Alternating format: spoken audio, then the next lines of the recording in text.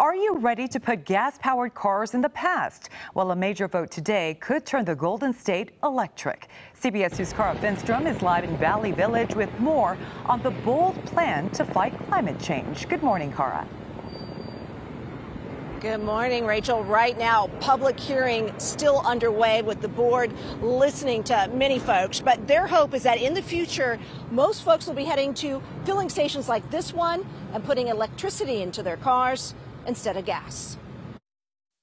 Californians have long had a love affair with their cars. The question now will that feeling become electric? This is a historic moment for California, for our partner states, and for the world as we set forth this path towards a zero emission future. State regulators are expected to approve a revolutionary plan that would ban the sale of new gas powered vehicles by 2035.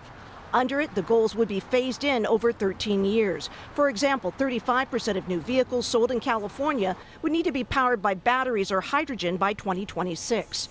Californians would be able to sell or continue using previously owned gas cars. We need to all contribute more to the climate, and that is going to help, hopefully.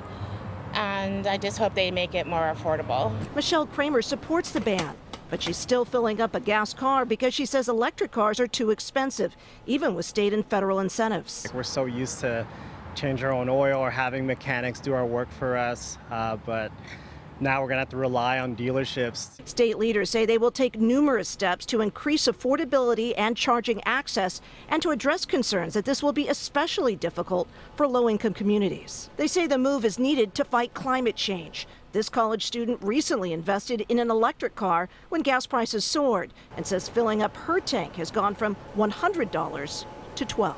I feel like if we can control it by something as simple as a car you drive, I feel like it's a good idea.